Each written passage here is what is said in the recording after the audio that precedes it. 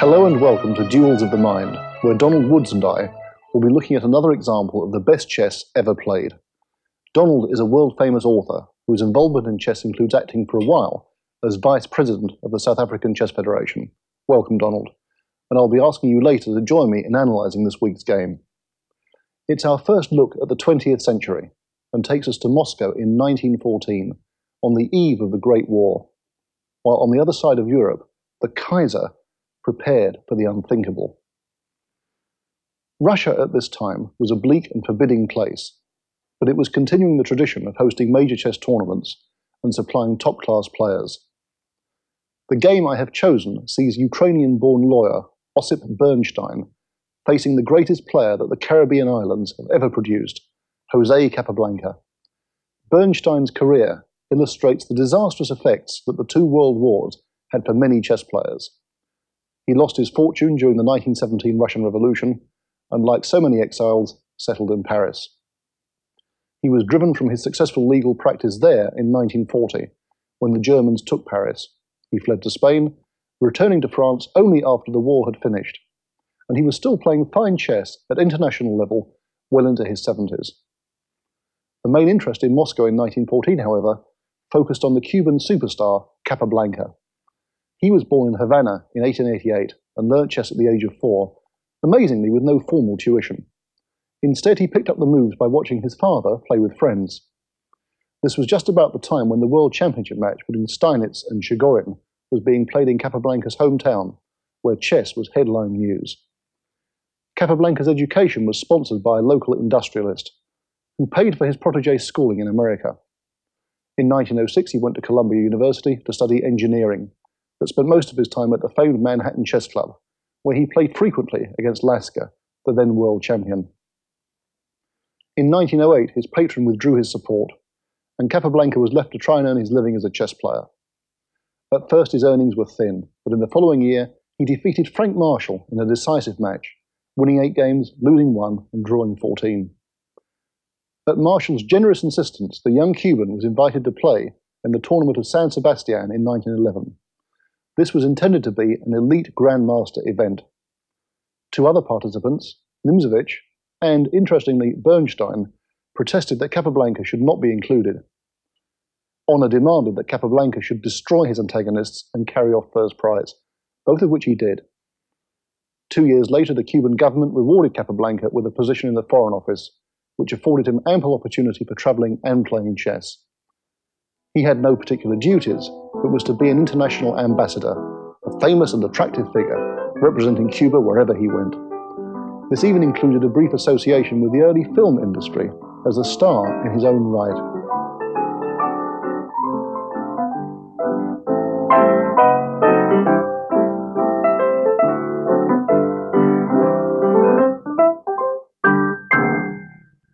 In 1921, he crowned his chess career by winning the world title from Lasker in his hometown Havana, becoming the only man in the history of chess not to lose a single game in doing so. This triggered the myth of invincibility, which was to cling to him throughout his career. During the 1920s, however, his tournament record as world champion was neither very active nor overly imposing. In 1927, just 10 days before his 39th birthday, Capablanca conceded defeat in his world title match against Alekhine. Capablanca never raised the price stakes necessary for a return match, although he continued to play tournaments with mixed results. In 1936, he won a powerful tournament in Moscow, a point ahead of Mikhail Botvinnik.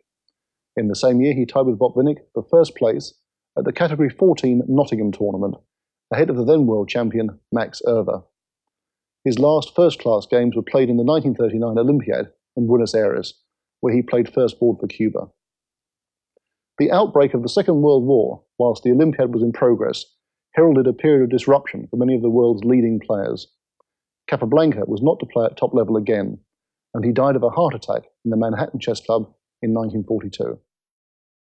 Bernstein White, Capablanca Black, Moscow 1914, and Bernstein started with the increasingly popular move d4. And Capablanca, a classical player, if ever there was one, occupied the centre, not giving any ground. And White played the Queen's Gambit, which we also saw last week in the Pillsbury Lasker game. And of course, a gambit is simply a move to throw the opponent off course in the opening.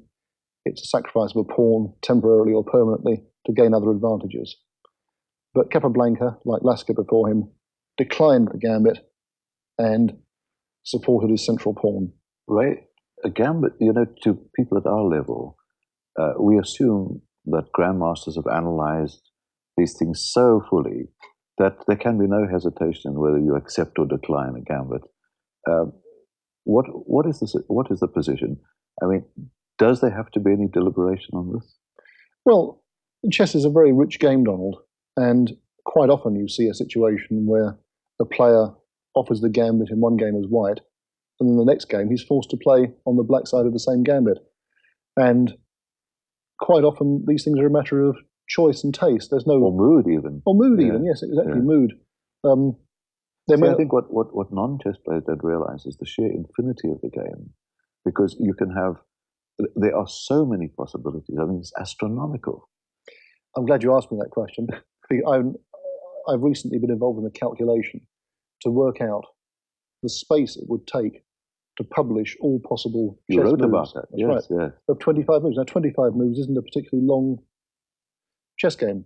It's actually a miniature. 25 moves or less is a miniature.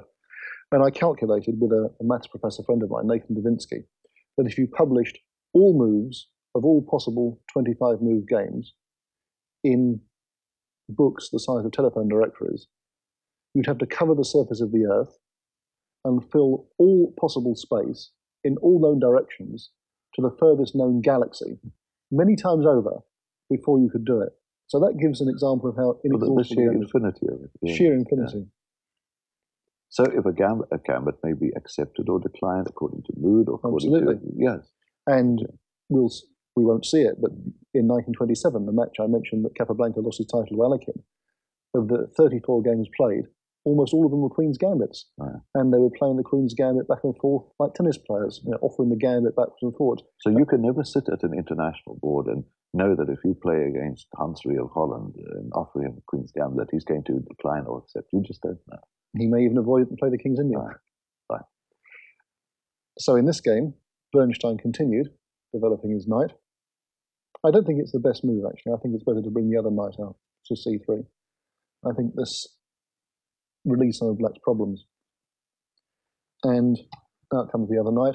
And you'll see we have the same position that Lasker and Pillsbury had last week. And Lasker chose this move. But in this case, Capablanca played rather more modestly. He played bishop e7. But I do feel somehow that the early committing of the white knight to the f3 square takes away a lot of possibilities for white. Sometimes you want to put this knight on. As a general rule, or in this particular? In this particular opening, yeah. I think the Queen's Gambit, the knight doesn't always belong on f3. Right. Many games by Kasparov, you see a trade-off in the centre, and then later the knight comes to e2. And um, I think the way Bernstein's played it, he now played bishop g5, it somehow reduces black's problems a bit. And Capablanca castled. No more of these games where people get slaughtered in their beds before their pieces come out. And Bernstein played a solid, sensible move. And Capablanca developed his knight. And the white rook came here. Now, Donald, every game that I've chosen in this series, I try to find games that somehow advance the theory of chess and increase the level of sophistication each time. And what we've seen so far in this series, five games, every single one was decided by a direct, brutal attack on the opponent's king. Maybe under fire, as in the Pillsbury Lasker game, but always the king is the object. And what we see this week is a dawning of a new understanding of chess, that the game can be decided not just by a brutal attack against the opponent's king. Indirect attack. It can be an yeah, indirect attack. Obviously, the king is the final object of the game. Unless you can checkmate the opponent's king, you can't win. The game will be drawn. But by putting pressure on the c file, by playing on the queen side, and this move rook c1 is the inauguration of that, by playing on the queen side, we see that both players here are going to decide the game essentially by a battle Away from the kings. Yeah. directly away from Knock the out his U-boats first. That's right. They're playing for small squares, for tiny, imperceptible advantages, for very modest pluses. And coming to the king, getting the grips of the opposing king, comes at the end of the game, not the beginning. And this is a dawning of a new comprehension, a new subtlety, the awareness that even an extra square in the right hands can be decisive. The pawn structure can be decisive. It doesn't have to be aiming all the weapons at the other guy's king and trying to blow him off the board. So Capa, as he's generally known, played this. Another fianchetto or fianchetto, development of the bishop as it's known. and that is move number. We're up to move number seven now. Seven. And white traded pawns in the middle. And black had to trade back. And now we've come to move eight. Now, has Black liberated his position? Is he is Black freed freed himself? No, he hasn't, not yet. Um, White's trade in the centre was actually quite clever because Capablanca was trying to put his bishop on b7 and then perhaps trade off in the centre himself and give a clear path to the bishop on the a8 to h1 diagonal. And what Bernstein's done, quite rightly, is to fix the central pawns so that when the black bishop comes to this square, for the moment at least, it's still hemmed in by the pawn on d5. So there's still no liberation yet. And in fact, the white position is probably slightly better. Now, if I were white here, I would play this, bringing out the bishop. Then I have to ask you why. Well, partly it's a good developing move, and partly it's aiming at the black king on the b1 to h7 diagonal, and it's also keeping the influence on the on the queen side. I He's speaking strictly as a knee-jerk club man. Um, I'll put the bishop back where it was. yes, he's waiting for the bishop to come out. Isn't he? Yes, a3 is also not a bad move in this position, and the move you suggested a3 is quite good because it's preparing to come here, which is in line with White's strategy of putting pressure on the c file. That's a that's a good move as well. What Bernstein did, I'll put the pawn. This is the position in the game. Was he played the queen here, and I feel that this strategy is misguided. I know what he's trying to do, but I don't like it. Capa played that and you'll see the bishop is still restricted. And now Bernstein played this. And I think this is, in principle, a wrong decision. I know what he's up to. He's trying to gain control of the c6 square and the a6 square, which are potential holes. You see how subtle this game is? They're playing for squares and holes and outposts, not for direct attack. But I think that by offering to exchange the black bishop, which is hemmed in by the pawn on d5, he's really restricting his opportunities quite a lot. And Capa quite happily traded that off. Bernstein recaptured with the queen, probably thinking that he'd achieved quite a lot from the opening and that the black queenside pawns would be under siege from the queen, the knight on c3, and the rook on c1. What's more, I would have gone along with him on that. Mm. But now, move number 11, c5. And this is the position where I feel that Capablanca has, in fact, Broken up. broken out, liberated his position, and he has complete equality. He doesn't need to worry about the further course of the game. That White's strategy has not really succeeded. If Black couldn't play this move, let's put the pawn back. If Black was somehow prevented from doing that, and White had time to play the idea you suggested of a3 and b4, getting a complete grip on the c5 square, Black would be in a bad way. But in one, let's put the pawns back, this is the game position, in one fell swoop, as it were, Capa plays this, and he has freedom to breathe. His pieces are cooperating nicely. And now Bernstein finds an interesting plan. He decides that the weaknesses in the black position are going to be the pawns on d5 and c5. The moment they're well supported, but he starts a deliberate policy, first by taking this knight, of undermining and eliminating the pieces which support those pawns. First goes the knight, and he takes here. Black could take with the bishop, but then the pawn on d5 Yes. Is isolated. Capa takes back. And we have now what's called hanging pawns. The pawns on c5 and d5 are called hanging because they've got no support and they can become weak. They can be bombarded, attacked, subjected to siege, but also they can advance. Yes. And one of the great debates of modern chess is the hanging pawn strong or weak. so many situations where they can occur, no one's really sure. Well, weak with potential strength. Exactly. Bernstein castled. And Capa played queen to b6. And if white takes the queen off, of course, he brings the, the pawn in to support the pawn on Yeah. c5. Exchanging queens with white here would be a, a very, very bad idea indeed. So to maintain his strategy, he plays the queen back to the e2 square. And his plan now, of course, is just to put a rook here, perhaps even to put a rook here and then here, and pile up everything on that weak black pawn on d5. So black has to do something before this occurs. And Capa now takes a pretty radical decision, one that I think even today many grandmasters will be reluctant to take. He plays this. And now he's got compensation.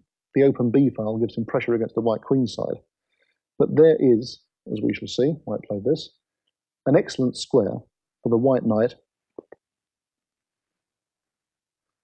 on d4. And this knight is very hard to shift. It controls the center, occupies this key square. It may later. Ray, this is why I don't attack. understand that black pawn move. Yes, it's it's a courageous decision. And what Capa played now on move 17 is, is bishop b4. And he's calculated the dynamic niceties very well indeed. He's he's seen that he has weaknesses, but he also appreciates there are weaknesses in the white position too. That the b file isn't secure.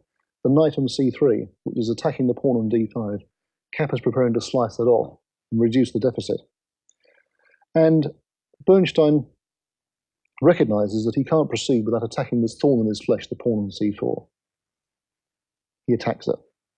And Capa brings out his last piece, he defends. And as I said, you see this new subtlety in the game. The whole battle is taking place around these weak pawns Yes. on the queen side. It's not a question of bashing the other kings are guy's king. bystanders, yeah. That's right. Bernstein takes off. And black has to take back with the pawn. And now black sort of passed pawn on c4. It means a pawn where there's no opposing pawn that can prevent it from advancing the queen. On the other hand, it's heavily blockaded, and it could be a great source of weakness. And this is where fine judgment and fine tuning, which Capablanca possessed in abundance, is so crucial. And white starts the process of besieging the pawn on c4. He's going to double the rooks like this. That's his idea. And eventually he's going to move the knight and take the pawn. And Capablanca doesn't sit idly by. He takes it off. Bishop takes knight. And already now he's conceiving a brilliant defense to the weakness of this pawn. White takes back. And now a very good move, knight d5. And it might look as if white could take this pawn, Yes. Hmm? but he can't because the knight hops in here, supported by the rook on c8, Ah, and he wins rook the knight. wins rook for knight. He wins the exchange, Yes. as we say. Yes.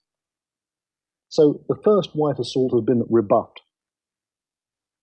He has to bring the rook back, rook to c2. But of course, the pawn on c4 is still a very long range weakness. Capa defends it by pushing it on. Now, the further the pawn gets into the white camp, the more of a danger it represents to white. On the other hand, the further it goes away from black's own lines of communication, the greater the weakness. And Bernstein played this. And now he's got all his artillery lined up, waiting to attack that pawn.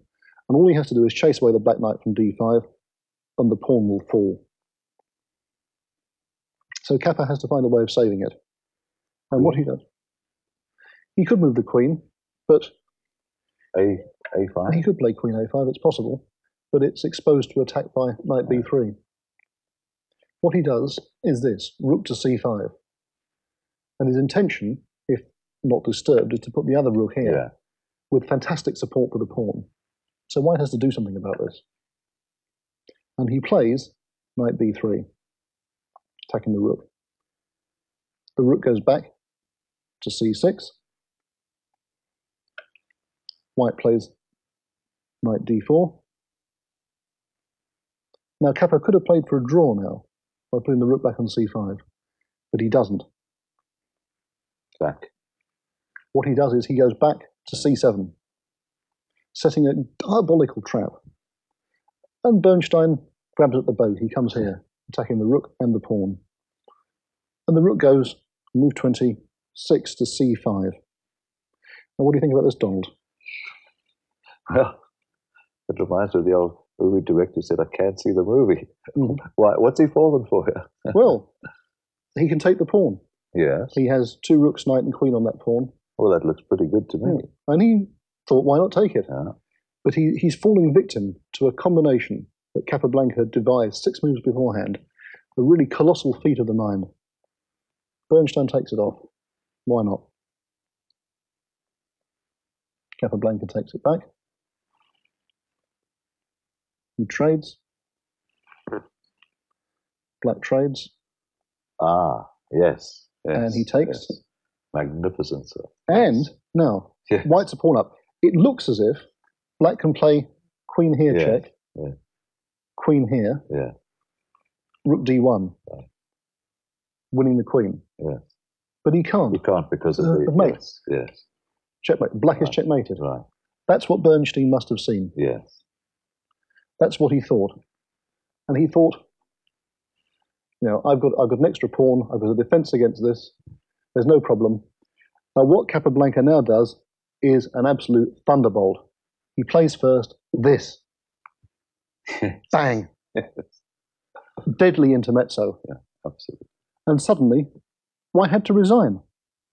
There's nothing he can do. He's losing a whole rook in this position, but so this brilliant coup yeah. that was seen so far back and if white takes the queen, for example, that's just frightening. Yeah. Rook d1 yeah. is immediately checkmate. Oh my gosh, yeah. That is extraordinary. And if he plays this move, which looks like a defense, he gives this check yeah. first. The queen has to go away. And then queen takes That's rook. right, yes. And it's finished. Yeah. And that move, Queen B2, I want to put it back on the board again. That's breathtaking. It's yeah, breathtaking. Yeah, it. Absolutely breathtaking. This thunderbolt game. So, a wonderful game well, by no wonder you, you put this among the. Uh, in fact, that's. I can't think of anything better that we've seen so far. Can you? it's spectacular, isn't it? yes. So this was played in 1914, and chess for the next few years really didn't take off. Well, the lights went out on the game for a long time. That's right. And sponsoring chess during the Great War was, of course, the last thing on people's mind. There were virtually no chess tournaments at all. In Europe, very small ones, but nothing important. And that's one reason why Capablanca, I think, had such dominance in the early 1920s. He was in America, he was safe, he wasn't affected by the war at all. Whereas in Europe, several, some, some grandmasters like Schlechter, for example, died of starvation in the blockade. Well, thanks, Donald. Thank you, Ray. But chess, of course, does survive, and indeed it's absolutely crucial that the theory actually develops. We'll see another example of inventive play when we join you again for our next game in the series. That takes us to Hastings in 1922, when two Russians are center stage, Yefim Bogolyubov and Alexander Alekhine. Join Donald and me for that. From us all here, goodbye for now.